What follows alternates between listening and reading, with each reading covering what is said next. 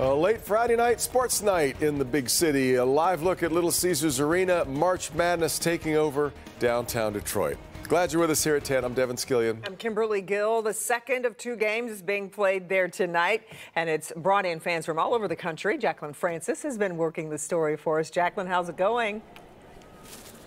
It's good. Those Purdue fans are leaving really excited tonight after Purdue won the first game. And now it's after 10 o'clock, and they are just getting ready for tip off of game number two. That's going to be Creighton versus Tennessee. Two major matchups that have put a spotlight on the city of Detroit.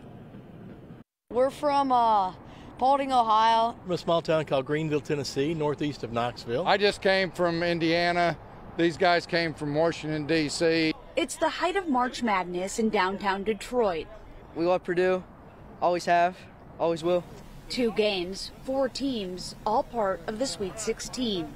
I actually live here, but we're from Spokane. So that worked out for you. Worked out perfectly. This trio in blue coached one of Creighton University's star players in high school, making the trip all the way from Aurora, Nebraska. Just to see him play. Uh, great kid. The tournament has given great exposure to the city of Detroit, a preview of what we'll see come the NFL draft. I've spent any time downtown, and I've really, really been impressed. These Tennessee fans have a late night ahead of them as the second game tipped off after 10 o'clock. We took a nap this afternoon. Yes. to prepare.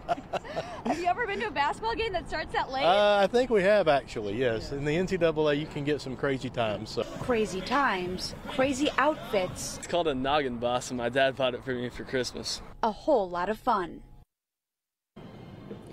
Whoever wins this second game tonight will face off against Purdue this Sunday, right here again at Little Caesars Arena as part of the Elite Eight. Reporting live downtown, Jacqueline Francis, Local 4. Okay, great, Jacqueline. We appreciate it.